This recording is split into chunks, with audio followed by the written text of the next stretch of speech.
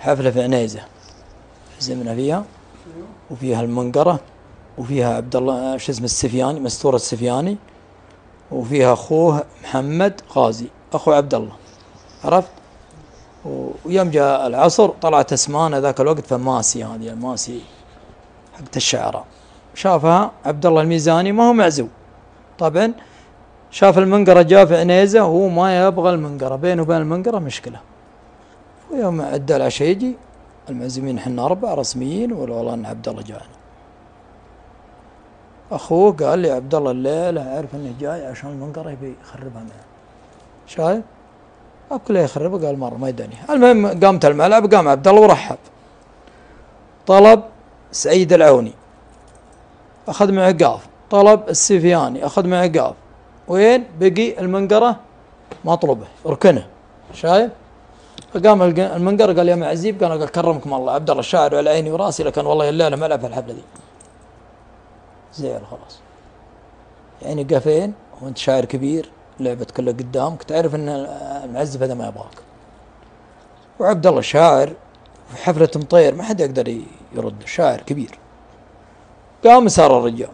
يوم قام سار عود الرجال لهم طالب أخوه. الحين الميكروفون ما يفصل عبد الله. مرة. قال اسمع يا مطرنا ترى الميكروفون للصباح. ما علي من أي شاعر أنها الرجال ناوي له شعار بيزعل الناس كلهم. فلعب هو واخوه صار الدور علي هنا. أنا معزوم رسمي وبلعب وإني أسمع الرجال وراي المطران يقولون والله بقى السلمي خله لا لا يطرد السلمي صفيها معه. اسمعهم وراي. فلعبوا قافهم قمت أنا وغيرت. قلت سلام ردية تفك حلوق ناس ومنع شر والناس طال الوقت ما ترحملوا إخوانهم. شوف يلعب أخوه.